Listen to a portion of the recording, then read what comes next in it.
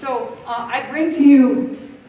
Eamon Riley and Milo Cleese performing Nico Margur's